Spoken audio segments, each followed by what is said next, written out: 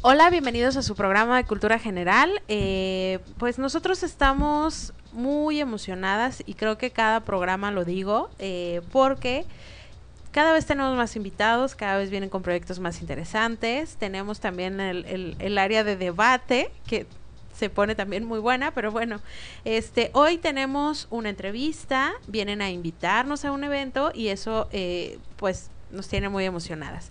Ya saben que nos pueden encontrar en redes sociales como Cultura General o Lenos Cultura. Eh, y eh, recuerden que este programa es una colaboración con GP Cultural, Daniela allá a mi, a mi otra orilla, que va a dar sus redes sociales y que le doy la bienvenida a este programa. ¿Cómo estás, Daniela? Gracias, Leslie. Muy bien. Bienvenidos a una edición más de Cultura General. Agradecerles por el espacio. Eh, recuerden que también pueden encontrarnos a través de GP Cultural en Facebook como GP Cultural y en Twitter como GP-Cultural y bueno, efectivamente en este eh, programa que ha tomado de repente un poco como tintes hacia la música, eh, porque pues bueno, hemos tenido la fortuna de que se nos acerquen ¿no? los, los músicos que les llama mucho la atención el, el espacio. Y bueno, en esta ocasión eh, tenemos como invitados a Mystery Box, que viene representados por Alfredo que él además eh, pues ya cuenta con una experiencia en esto de las entrevistas porque es comunicólogo, eh, está ahí inmerso también en la radio, entonces eh, espero que no nos cueste trabajo esto de sacarte las palabras. Hola, gracias por la invitación. No, pues a ver, esperemos que todo fluya bien, siempre, bueno, ahora ya estoy como acostumbrándome más a estar de este lado, pero sí, bien, bien, gracias. Y pues sí, como lo mencionan, vamos a hablar un poco del proyecto para los que no lo conocen y también pues invitarlos a una presentación que vamos a tener el próximo sábado. Muy bien. Eh, pues bueno, para empezar esta conversación, este programa, pues a mí me gustaría que nos platicaras un poco eh, de este proyecto, eh, cómo es que surgió y más o menos de qué va. Bueno, Mystery Box es una banda que surge en 2012, es un cuarteto eh, dos guitarras, bajo, batería. ¿Y cómo surge? Bueno, surge en mi cabeza porque yo tenía como la inquietud de hacer o quería hacer un proyecto instrumental, de rock instrumental, entonces fue así que pues tenía mucho esa, esa idea y quería plantear eso y pues sacarlo, ¿no? A flote. Entonces yo empecé a hacer canciones por mi cuenta, con mi guitarra y como crear pues yo solo eh, y empecé como a buscar gente que pudiera pues entrar al proyecto, ¿no? Entonces fue así como empezó Mystery Box y luego ya eh, casualmente me empecé, empecé a conocer a Omar.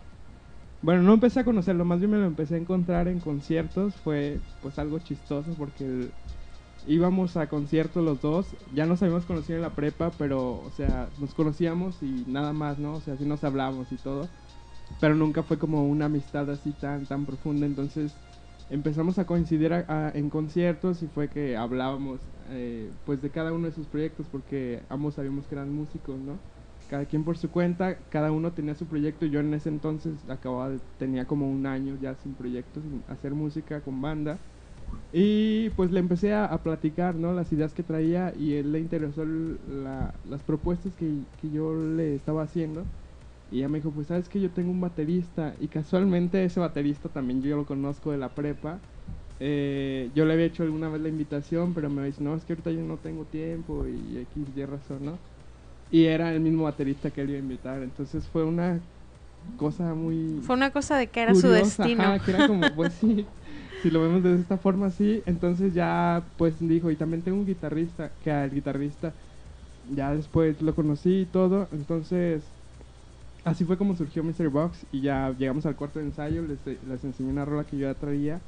Entonces cada uno trabajó sobre esa canción y pues fue la primera canción que, que armamos como banda y que incluso el nombre de la, de la canción tiene que ver, creo que nunca lo habíamos dicho, pero tiene que ver con, con esto de la creación de cuando surgió la banda y el mes y el año. Entonces eh, fue la primera canción, a partir de ahí pues empezamos a crear canciones nuevas y todo eso. ¿Cómo se llama esa canción? 1208. 1208. Oye, una pregunta. A ver, eh, tú estás platicando que lo tuyo era rock instrumental. Sí, y Mystery Box instrumental. es eso. Sí, el rock instrumental es, pues por no eh, etiquetarlo de tal o cual forma, simplemente es pues rock instrumental, ¿no? Sin letra, no tiene letra. Ok, y otra pregunta, ¿por qué Mystery Box? Mr. Box es, eh, pues nos gustó el nombre como suena, así en inglés, porque pues ya traduciendo a nuestro idioma, al español, es una caja de sorpresas, ¿no? Entonces, por lo mismo de que la música es instrumental, jugamos con diferentes ritmos a lo largo de cada canción y con diferentes notas, entonces, por ser una eh, por ser música instrumental tenemos que jugar mucho con estas variaciones en la música, ¿no? Entonces, pues quisimos jugar como con esto de que cuando abres una caja no sabes lo que te vas a encontrar, ¿no? Simplemente sale la música y pues trae diferentes cuestiones, ¿no? Dentro de la misma. Y pues ya todas las canciones pues son diferentes. Entonces por es, por allí va el nombre de, de Mystery Box. Está muy interesante. Ahora me gustaría que nos platicaras un poco como partiendo de este asunto de, de lo instrumental, qué tan fácil o qué tan complicado ha sido que la gente no de repente se abra, porque em, pasa mucho que más allá de la música clásica pues no estamos acostumbrados a escuchar una melodía sin letra, ¿no? Entonces, este, de repente, por ejemplo, el, el cliché de acercamiento que tenemos más común a las bandas, pues es me sé la letra de la canción. Entonces, eh, ¿qué tanto ha sido esta labor, no? Porque también, pues es un género del que no existe tanta, este, eh, oferta como en otros géneros del rock, ¿no? Entonces, eh, Sí, pues desde el punto de vista, bueno, ya así, hace- como planteas la pregunta, sí es complicado porque, pues como bien dices, la gente, la mayoría de las personas están acostumbradas a escuchar letras, ¿no? Incluso no es, no es raro que nos pregunten, ¿y por qué no tiene letra, no? O ¿cuántos son tantos? ¿Y quién canta? No, es que es instrumental, ¿no? Y sí es como, sí es como extraño que y es un, creo que es como un nicho bien pequeño y como diría los virus, ¿no? Es un, es un camino bien largo y sinuoso, ¿no? Porque por lo mismo de que no, no hay música, digo, no hay letra, como que sí, todavía hay gente que dice, a ver, espérate, ¿no? Es que si no tiene letra, automáticamente lo, lo, Lo lo descartas. desechan, ¿no? Pero una vez que lo escuchan hay gente que sí, ah, está, a mucha gente sí se le hace como, wow, ¿no? Es instrumental, es qué interesante, ¿no? Porque no, no están tan acostumbrados a conocer la oferta que hay. Y sí, no hay tanta, tanta música instrumental, por ejemplo, aquí en Guadalajara hay, no sé, cinco o seis proyectos en toda la zona metropolitana, al menos que yo conozca, que son como las bandas que tocan así, ¿no? Incluso para la hora que hacemos fechas nosotros, sí que pues con quién, pues con ellos otra vez, ¿no? Porque no hay tantas, al menos aquí en la oferta eh, de Guadalajara, tantos, incluso nacionalmente no son tantos los proyectos que hay, mundialmente tampoco, pues, pero, o sea, sí hay un nicho para esta música, pero es como pequeño, ¿no? No es tan grande todavía. Yo no sé si aplique, tú, tú me vas a, a- a orientar en esta situación. Yo hace mucho tiempo, y creo que ya lo he platicado varias veces, eh, hace mucho tiempo con un amigo platicaba que a mí no me gustaba la música clásica. Me dice, no, es que yo ayer estuve escuchando música clásica y yo, no, le dije, no, no, es que mira, escucha, no, le digo, no, es que no me gusta. ¿Por qué no te gusta? Le digo, es que yo necesito letras en las canciones y no tiene letra. Y entonces me dijo, es que no sabes escucharla. Le dije, no, le dije, no sé escucharla, ¿no?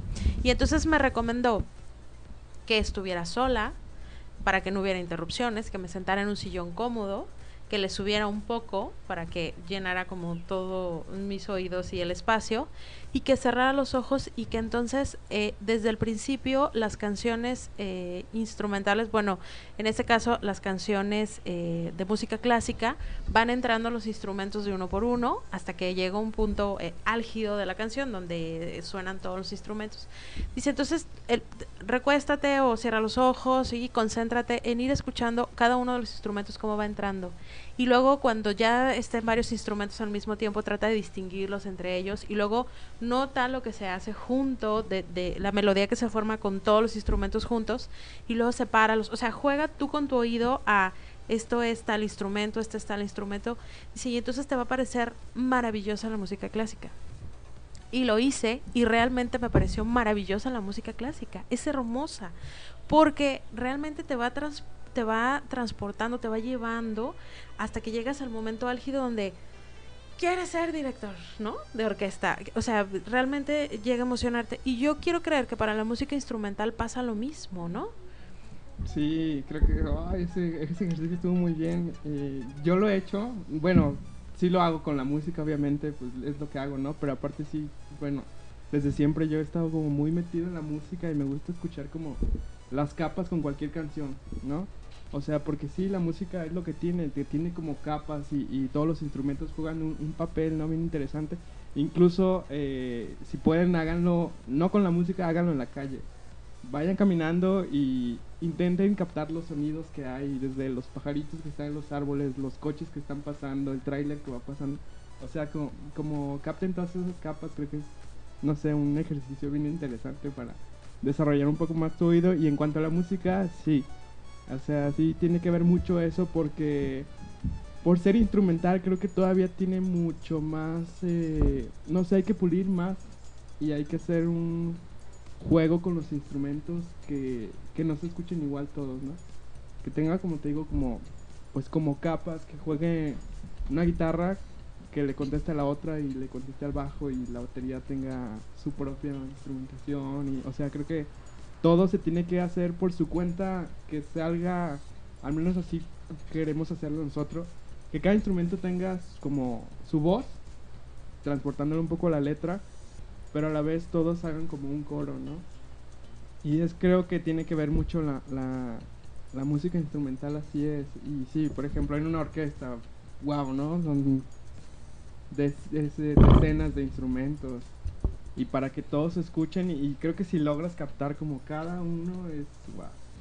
Y al final la obra completa es una maravilla y, creo que, y creo que deberíamos de entender un poco eso o al menos con la música, con cierta música que no es la música lo voy a decir, o sea, la música comercial que es una base, es la letra pegajosa y ya es lo que se te queda en el cerebro. Sin embargo, si le dedicas un poquito más de tiempo a otro tipo de música, donde pasa esto que mencionas, que a lo mejor te va a costar un poco de más, no se te va a quedar así, no la vas a escuchar como la primera.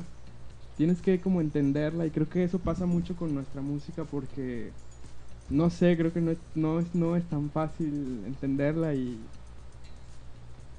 podría ser una muestra de ello que, que la gente que tenemos no es tanta pero sí es como fiel, ¿no? Sí. Fíjate que respecto de entender la música, este, yo siempre para, para, para invitar a las personas a que se acerquen a, a las diferentes expresiones culturales es, mucha gente conmigo, en un plano muy personal y muy privado, me decían, es que, ¿sabes qué? Yo nunca he ido al teatro. Y a mí me da como pena de ir a un teatro y no saber ni qué hacer, ¿no? Y o me da pena ir a una exposición de, de pintura porque luego ves en las películas que hacen análisis sobre la pintura y dicen cuánto ah, tiempo me, tengo que quedar enfrente de ella? me parece que esta situación es como muy abstracta para no entonces tú dices yo no veo nada no yo lo que le he dicho a la mayoría de las personas y que lo aplico para mí misma es es que el arte no quizás no sea algo que tú tengas que entender, es algo que tú tengas que sentir. Entonces, si tú te paras frente a una que le platicaba a mi mamá, me decía, ¿eso qué? Cuando estaba viendo este, no sé, un cuadro muy violento o una película muy violenta. ¿Para qué quiero ver yo películas tan violentas, no? Porque te estamos tratando de que seas eh, sensible a las situaciones, ¿no? Entonces, cuando tú ves un cuadro muy fuerte y dices, es que este cuadro me inspira mucha tristeza y yo, precisamente esa es la idea, ¿no? Entonces, con las canciones creo que puede ser eh, lo más fácil el dejar tus sentimientos fluir. Esta canción me da mucha tristeza y mucha angustia. Sí, pues se llama La pérdida del hijo, ¿no? O algo así. Entonces, creo que sí puede ser algo que, que si no eres músico no lo entiendas como lo que como como la técnica, pero sí que si eres persona y sí que si escuchas, puedes, incluso las personas que no escuchan, las vibraciones lo son todo, ¿no? Entonces, eh, creo que más vale acercarse a cualquier tipo de, de expresión cultural abierto, a- abierta a qué vas a sentir, a qué te va a transmitir, y esa es la idea. Sí, creo que sí, eso quería, de eso hablaba yo. mm, creo que sí, mal, bueno, empleé mal la palabra de entenderla, es dejarse llevar por la, por la música, por y creo que pasa con todas las artes como mencionas, ¿no? Eh, un cuadro, a lo mejor mucha gente va a decir, "Ah, un cuadro, ¿no? O sea, lo veo y no veo nada ahí. Pues si no ves nada está bien también, ¿no? Sí, claro. O sea, es que Puede llamarse deje- ausencia. que te dejes llevar por esos, por las pinturas, una obra de teatro es igual, eh, la danza es igual, que mucha gente dice, ay, eso pasa mucho con la danza contemporánea, ¿no? Ya, de la danza contemporánea Eso- quiero hablar. Eso, ok, o sea, no es como, mejor déjate llevar, si conectas, wow. Sí. Bien, eh, pues vamos a ir un corte y vamos a regresar porque está interesante la plática. Ya vamos a dejar hablar a Daniela. Por primera vez se la aplicamos. Regres- Bien, pues ya regresamos a su programa Cultura General. Este, estoy haciendo una pausa para ver si me veo como en, la, en las televisiones, si me hacen algún meme, a ver si me hago famosa. Así de. No, "Ya, además, ah, hola. hoy el productor nos trae asadas. En entonces, Bien, pero estamos avanzando bastante bien y esto está súper interesante. Estábamos hablando sobre eh, las artes y la, y la poca comprensión que de pronto hay y mencionaste la danza contemporánea y luego la danza en general, ¿no? Yo en una ocasión me tocó ir a una presentación de ballet que duró como cuatro horas y ya no hallaba yo como no dormirme. Pero, este, a veces es muy difícil de entenderla y, y también eh, hay gente que se me acerca y me pregunta, ¿qué, qué, chiste tiene la danza contemporánea o qué es? Y, yo le digo, tiene mucho chiste, para empezar, digo, tiene toda una explicación y, y- y es una expresión como muy, muy improvisación y todo esto. Le digo, pero yo lo primero que haría es intenta hacer algo de lo que eh, ellos o ellas hacen en, en, en un escenario o en donde sea. Eh, creo que ahí entenderás la complicación y valorarás cada cosa. Creo que hay bailarines tan buenos como futbolistas que lo hacen parecer fácil y que dices tú, ah, está bailando. Pero realmente la complicación y todo el detrás que hay de preparación y todo es algo que creo que debemos valorar. Yo por eso amo eh, el, el detrás de cámaras. No sé si, si ustedes les guste, pero el detrás de cámaras me parece una cosa hermosa porque te das cuenta de todo el trabajo que hay detrás y de todas las personas que hay detrás, ¿no? Por ejemplo, este, y ustedes me van a saber decir perfectamente los dos, detrás de cuando tú ves a un artista en escena, cuántas personas hay detrás y qué es todo lo que han hecho, ¿no? Entonces, no sé, ¿cuántas personas están en tu banda? Ah, en la banda somos músicos, cuatro, Ujú. Pero atrás de... Bueno, con nosotros nada más hay una persona atrás de la banda, ¿no? Pero, por ejemplo, si ya te vas a grandes escalas, Como una presentación. Sí, no, o- o sea, es... Y yo empecé a conocer conforme fui avanzando y metiéndome más en este rollo de la música de un modo más profesional, que es desde que tienes que tener a una persona que, que te está cuidando en el escenario, que le dicen que es como tu mamá o tu papá, ¿no? Los managers, y luego está la persona que te está buscando fechas, que, es, que llaman los booking o bookers, y luego está el ingeniero de audio. Ah, bueno, también tenemos ingeniero de audio. Está el ingeniero de audio que si no suenas bien y es el que está controlando todo, que suene bien para ti y para la gente. Si no tienes, creo que es esencial un ingeniero de audio porque es música, ¿no? Si no lo tienes, estás... Yo digo que puede ser el mejor amigo del proyecto o tu peor enemigo, porque realmente eh, un, un ingeniero que de repente, por ejemplo, hablando, ¿no? En este caso de la, de la música este, instrumental, pues puede de repente, si no está familiarizado con el asunto, sí te puede dar un poco en la torre, este, que ya no digamos de otros proyectos, pues, pero hablando en específico de este, me parece que sí em, debes de eh, jalar, ¿no? Un, ingeniero a tu equipo y que conozca, ¿no? Inclusive la esencia del- del- de la de la banda, porque como bien lo decías tú con, con tu experimento de la música clásica, el asunto aquí es que los instrumentos dialoguen y que no que sientas un poco en este dejarte llevar el que no necesitas una, una voz, ¿no? Eh, que la voz son los instrumentos, que las guitarras eh, te hablan, ¿no? Y no significa que empieces a alucinar, Mm. sino es justo esto, ¿no? A mí, por ejemplo, algo de lo que me llamó mucho la atención de Mystery Box y que ahorita Alfred nos podrá comentar es que ellos manejan un, un concepto eh, diferente en cada uno de sus materiales, ¿no? Ahora, este, y lo engloban, ¿no? En un concepto ya más general. Eh, cuentan pequeñas historias, ¿no? Que van, este, como en el mismo, en la misma línea, porque inclusive sus canciones se llaman así, ¿no? Cosmos, Parvada, ¿no? Entonces ya te remiten como a un cierto entorno.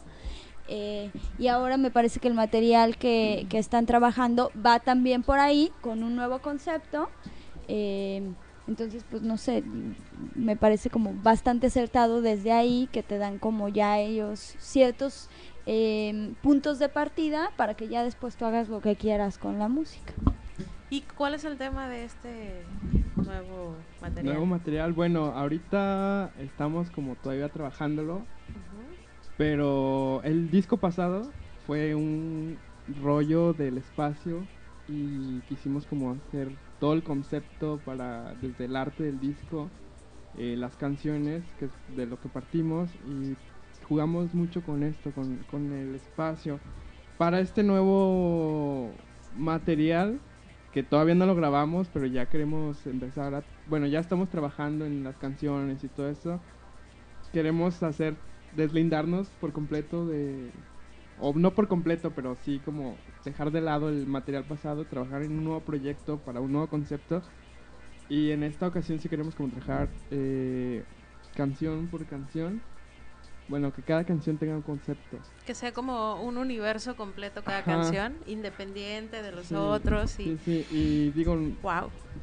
bueno, mejor que sea una sorpresa ya cuando lo estemos trabajando y, y vayamos soltando porque no queremos meternos en líos antes de... Sí, claro. grabar, ¿no? y Pero aparte sí. que, a ver, platícame cómo fue entonces cuando, cuando deciden hacer el espacio, cómo deciden que ese va a ser el tema y luego cómo se empiezan, si, si es fácil después desarrollar todos los demás ya cuando tienes un tema o te limita, que dices, no, porque puse este tema, ahora cómo lo saco. Pues eh, en el disco pasado fue pues curioso porque como iba empezando el proyecto y todo, entonces la composición de las letras de las letras de la música fue surgiendo como muy eh, pues muy fluido todas las canciones, ¿no? Entonces fuimos componiendo y sonaba una y la, componíamos, quedaba bien para nosotros, la dejábamos y luego queríamos otra y así. Eh, cu- cuando ya teníamos varias canciones fue de a ver cuáles vamos a meter en el disco y ya dijimos a ver pues hay que jugar con el decidimos pues jugar con el espacio y todo esto entonces dijimos a ver esta canción podemos arreglarla para que quede de tal forma esto también esto también y otras canciones empezamos como ya con ese perfil a crearla y, y por ejemplo con este disco fue al revés no a ver vamos a componer nuevas canciones de qué van no, pues ya lluvia de ideas, ¿no? Pues hay que hablar de esto, de aquello, va, pues hay que trabajarlo sobre esto. Entonces creo que ahora ya tenemos como un norte y es como vamos trabajando con estas nuevas canciones. ¿Cuántas canciones se quedaron fuera del otro disco? ¿Cuántas hace, cuántas componen por su lado para luego terminar en Del disco pasado fueron, bueno, el disco tiene seis canciones, es un EP de, seis, de cinco canciones y un bonus track. Y ese bonus track era porque era como una canción que, que estaba como, no sé, como que creíamos que a la gente le podía gustar, porque en, los, en las tocadas en vivo creo que es la mejor prueba para saber cuál canción puede gustar más o no, ¿no? Entonces esta canción como que gustaba, pero quedaba fuera de, de- Del concepto. del concepto de las otras cinco canciones y del disco en general. Entonces dijimos, ¿qué hacemos? Pues hay que meterla como bonus track, ¿no? Estas, estas cinco canciones son como para el viaje completo y esta canción pues es como, ahí les va, ¿no? Como de... Como de- un pilón. Ajá, un pilón. Entonces regalo. ahí fueron seis canciones y fuera quedaron como unas cinco canciones. Y de esas canciones que quedaron fuera, creo que ninguna va a entrar en este nuevo material. Ajá, Sí, porque luego he escuchado que hay artistas que se murió y tienen mil canciones que nunca salieron a la luz y que ahí están este, en su buró entre letras, música, composición, solo la música o solo la letra. Este, porque supongo que el proceso es así. Sí, o sea, sí, pues, creas, creas y creas y luego depuras. Y la depuración es ya con todo el, el- la banda que sí no opinan sobre todas las Ajá. canciones de todos. Sí, Entonces todos componen. Sí, incluso de varias de estas canciones ni siquiera ya las tocamos, o sea, porque ya no entran como en el concepto y creo que conforme va avanzando la banda se va como creando un sonido propio y entonces muchas de esas canciones dijimos, o sea, no tiene nada que ver ya con lo que estamos haciendo y pues quedaron fuera. Y en cuanto a la composición sí es eh, pues muy orgánico, creo que cada uno, bueno, en- en- nada más que en la primera canción que te mencionaba, que fue la que yo traía como la base toda y ya todos fueron apoyando y creando sus líneas. Las demás canciones creo que han fluido de manera pues muy orgánica porque uno llega con a lo mejor con una línea y ya del otro le empieza a, a apoyar y, y crea esa, ese diálogo, ¿no? Y creo que en los ensayos es donde se crea todo esto porque pues así va fluyendo, uno va dejándose ir y, se van armando las rolas como solas. Excelente. Fíjate que de esto que, que mencionan, algo que creo que también es como bien interesante, es eh, que han ido escuchando a su público, ¿no? A mí me parece un poco eso porque eh, me ha tocado estar cerca de la banda y entonces ver como este eh, crecimiento y este cambio que, por ejemplo, antes hablaban mucho, ¿no? En los conciertos, era como tocamos una rola y nos echamos un speech de cinco minutos y luego tocamos la otra y han empezado a jugar como con esta parte de, bueno, tocamos una, damos la bienvenida, tocamos tres, que creo que también entra en este asunto de eh, dejarse llevar, ¿no? Eh, a mí me gustaría que empezaras también a, a platicarnos de qué es lo que viene, ¿no? Con Mystery Box, dónde van a estar próximamente, ¿no? ¿Qué, qué va a pasar este año, ¿no? Con, con Mystery lo Box. del año. Bueno, eh, retomando esas palabras de que pues nos gusta jugar como ya hablar menos y tocar más. Precisamente tienen que ir este el próximo 8, este sábado 8 de, de julio. Vamos a estar tocando en el palíndromo a las a partir de las 9 de la noche se, empieza el, evento y hemos he preparado un set eh, diferente a lo que ya no he escuchado. Estamos como creando eh, como ligando canciones. Se acaba una y continúa la música, pero es como un poco improvisar y todo esto, pero con el fin de que la gente se vaya dejando llevar y se vayan yendo junto con nosotros, ¿no? En cuanto a la claro. música. Y va a ser este 8 de julio en el Palíndromo que está en Juan Ruiz de Alarcón 233. Va a estar eh, de banda invitada Los Avants, otra agrupación también instrumental de, de acá de Guadalajara.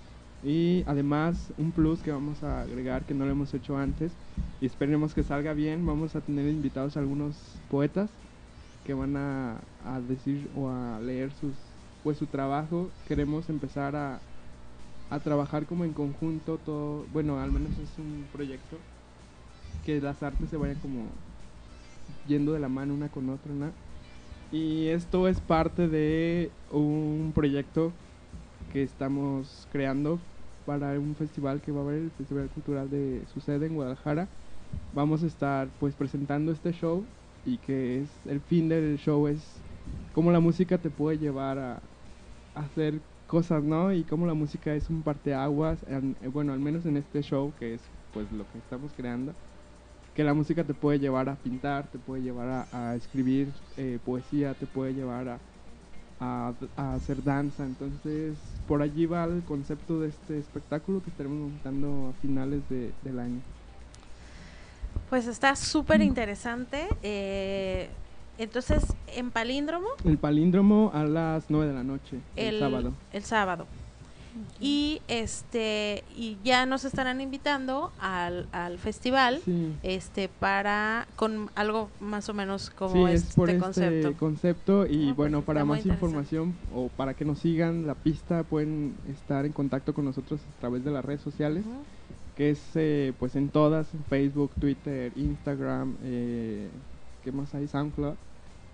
Eh, MBX oficial, ahí es donde pueden eh, seguirnos de cerca y estar viendo lo que estamos haciendo y eh, también ahí estaremos anunciando y lanzando convocatorias porque estamos en busca de artistas. También aprovecho el espacio para todos los que les interese participar en este show. Estamos en busca de pintores, de, de, de bailarinas y de poetisas. Entonces, si hay alguno interesado, pues ahí eh, escríbanos y si quieren conocer el proyecto más allá de cómo se escucha en el disco en vivo, pues vayan este 8 al palíndromo. Y nuestro disco lo encuentran en todas las plataformas ya de costumbre, Spotify, iTunes, eh, Deezer, Google Play, todo eso. Excelente, pues ahí están ya todas las, las rutas para seguirlos. Y me dio muchísimo gusto que estuvieras gracias aquí. Gracias, Daniela, me dio muchísimo gusto. Este, pues nada, hay que despedirnos. Sí, eh, pues yo invitarlos a que sigan de cerca este tipo de propuestas porque como bien lo mencionó Alfredo, no existe eh, muchas agrupaciones que porque creo que es un gran reto. eh, entonces, eh, pues el material que hay creo que vale la pena que nos demos un- una miradita y no una escuchada y, y aceptemos, ¿no? Que sí nos puede, este gustar, que sí nos puede ayudar, ¿no? A, de repente este, desconectarnos de este ritmo tan ajetreado que traemos hoy en día. Entonces, pues, recomendarles eh, no solamente Mystery Box, sino tal cual eh, buscar, ¿no? Las agrupaciones que están haciendo rock instrumental, que hay propuestas muy interesantes en el estado, hay propuestas muy interesantes en el país, entonces, pues, eso. Gracias. Ahí está, pues una nueva propuesta. Muchas gracias. Y nosotros nos vemos y nos escuchamos la semana que entra. Hasta luego.